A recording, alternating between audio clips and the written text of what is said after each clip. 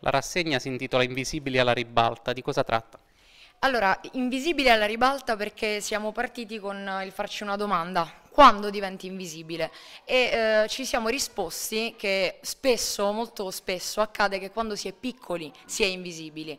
Perciò il nostro desiderio è quello di raccontare attraverso questa stagione, che um, ci è stata data questa possibilità per il secondo anno di fila e noi siamo contentissimi, il nostro intento è quello di uh, raccontare l'invisibilità ai bambini, quindi trovare dei linguaggi nuovi per avvicinarci sempre di più ai loro desideri e parlare di invisibilità da diversi punti di vista, quindi dal punto di vista ludico, dal punto di vista uh, avvicinandoci alla scienza, alla storia e anche alla nostra città.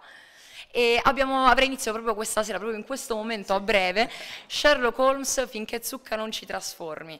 Lui oggi è in scena, io sono alla regia e siamo contentissimi ovviamente di iniziare anche quest'anno la stagione.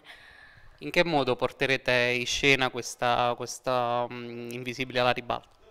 Allora, come diceva Asia, noi cercheremo di farlo attraverso varie modalità. Oggi, per esempio, con Sherlock Holmes puntiamo molto su, sull'elemento ludico, sul gioco. Poi Sherlock Holmes, lo sappiamo tutti, essendo un detective, è un po' il mago dell'invisibilità che va a scovare quello che solitamente la gente non vede. Poi lo faremo attraverso il mito, a Natale, poi continueremo attraverso anche la biografia con Oceano Madre.